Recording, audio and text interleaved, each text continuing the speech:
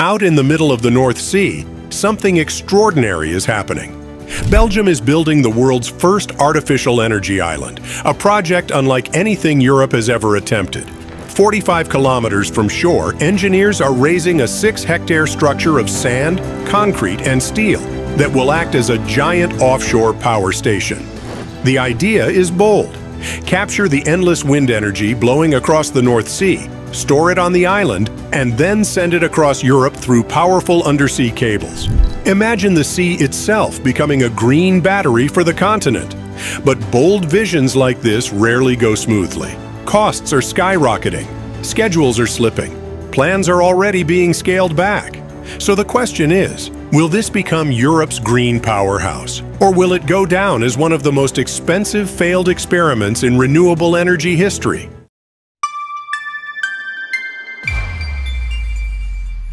Belgium already ranks among the world's leaders in offshore wind. Eight wind farms are in operation, supplying power to millions of homes.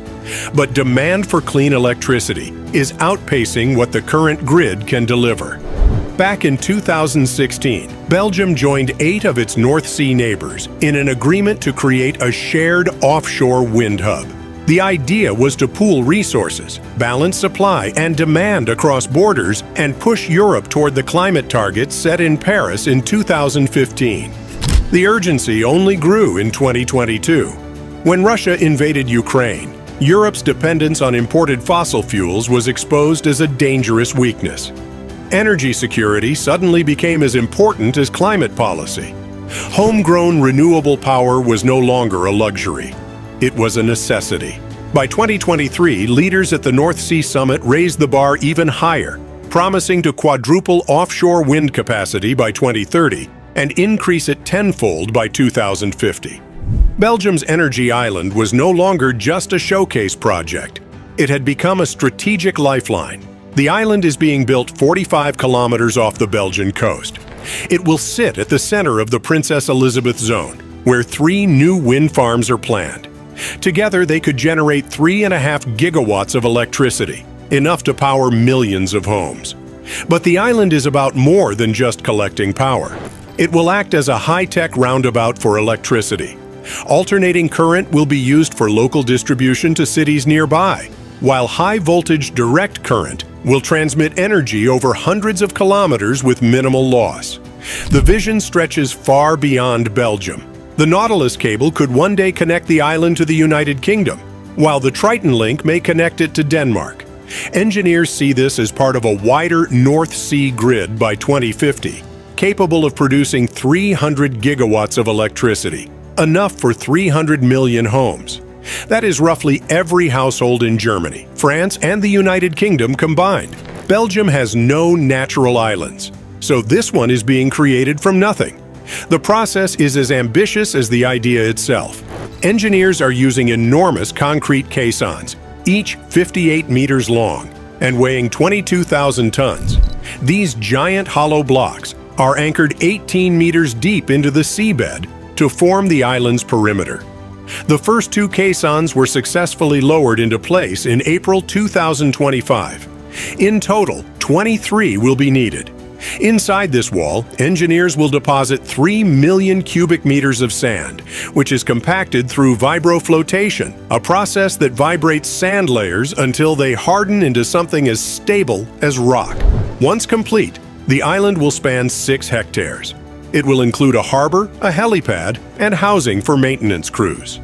Robots already tested on offshore platforms will patrol the site, inspecting turbines and scanning for damage before it becomes critical.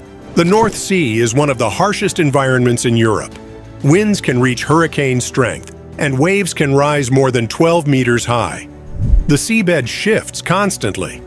To withstand these conditions, the caissons are reinforced with ultra-high-strength steel and coated with abrasion-resistant concrete. The island also depends on high-voltage direct current converters. These transformers are each the size of a bus and weigh hundreds of tons. Only a handful of manufacturers can produce them, which has driven costs through the roof. To keep the system running even when equipment fails, engineers are building redundant power routes, ensuring electricity continues to flow even during storms or maintenance.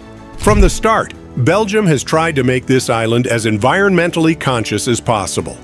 Ultra-low carbon cement is being used, which cuts construction emissions by around 40%. The seawall itself has been designed to support marine life. Ledges provide nesting areas for seabirds, while sections mimic reefs that encourage oysters and fish to return.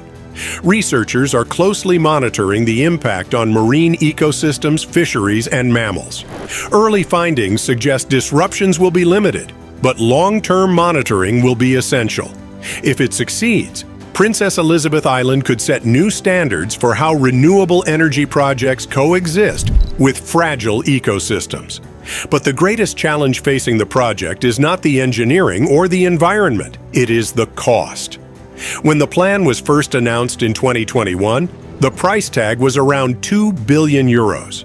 By 2025, that estimate had ballooned to nearly 8 billion. The spike comes largely from the shortage of HVDC equipment and soaring global prices for steel, cement, and specialized offshore vessels. Independent audits confirm the overruns are not due to mismanagement, but are the result of global supply chain pressures. Offshore wind is now a worldwide race, with Europe competing against Asia and North America for the same limited resources. In February 2025, Belgium's grid operator Elia delayed its HVDC contracts. A few months later, the government went further, canceling the second phase of the island entirely. That phase would have added a third wind farm and the Nautilus interconnector to the United Kingdom. For now, Belgium is focusing on just two wind farms, which together will generate around 2.1 gigawatts using simpler AC transmission. The timeline has slipped as well. Operations once expected to begin by 2030 are now unlikely to start before 2032 or later. Even scaled back, the island remains one of the most ambitious offshore projects ever attempted in Europe.